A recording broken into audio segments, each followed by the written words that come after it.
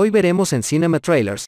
The Equalizer 3 ya tiene fecha de estreno y contará en su reparto con una actriz muy reconocida. No digas mamada.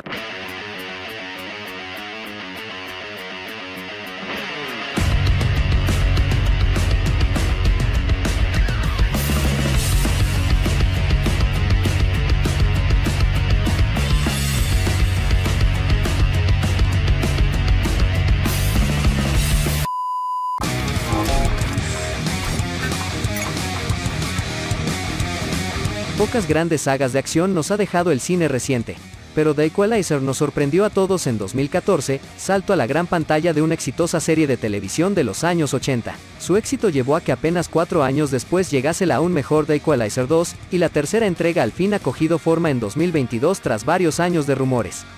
Yo soy el jefe aquí. En este momento se desconoce qué nos contará The Equalizer 3, pero el cineasta y director Antoine Fuqua comentó en su momento que le gustaría dar un toque más internacional. Habrá que ver si el guionista Richard Wenk ha tomado nota a la hora de escribir la película. Sí, gracias.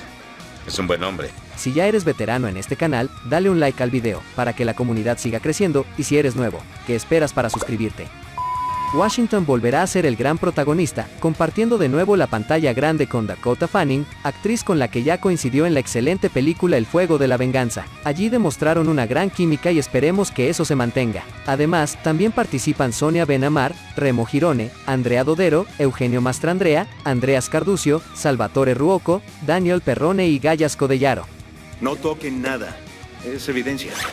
Sony ha fijado la fecha de estreno de The Equalizer 3 para el 1 de septiembre de 2023 y se verá de forma exclusiva en cines. Esto fue todo por hoy, los leo en los comentarios y nos vemos en un próximo video.